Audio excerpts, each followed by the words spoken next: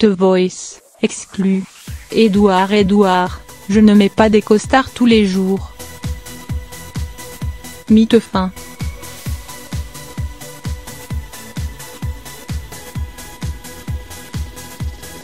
Pourquoi avoir choisi Edouard Edouard comme nom de scène?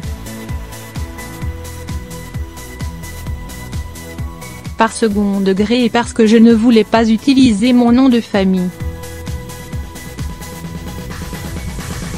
Mythe fin.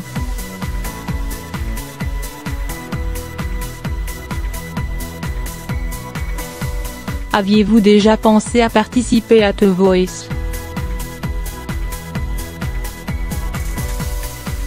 Non, je n'y avais jamais pensé avant de faire les auditions à l'aveugle mais on me l'avait proposé plusieurs fois. Je ne pensais même jamais que je ferais cette émission.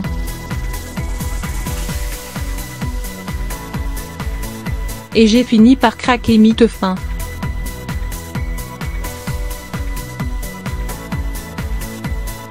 Votre look de dandy ne laisse personne indifférent.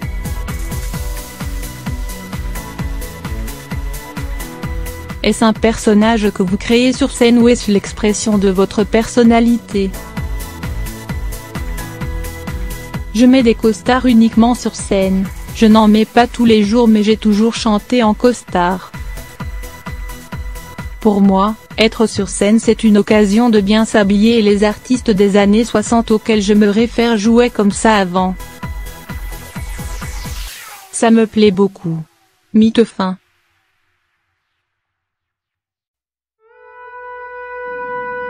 Pourquoi avez-vous choisi d'intégrer l'équipe de Zazie après les auditions à l'aveugle?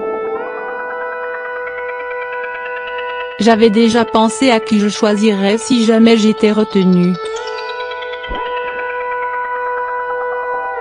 Je ne connaissais pas très bien les autres artistes, pour être honnête.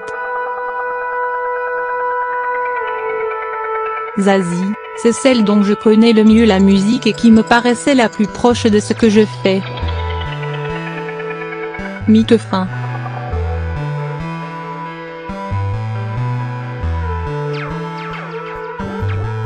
Comment se sont passés les Xing avec Zazie? Plutôt très bien Zazie est une femme très chouette.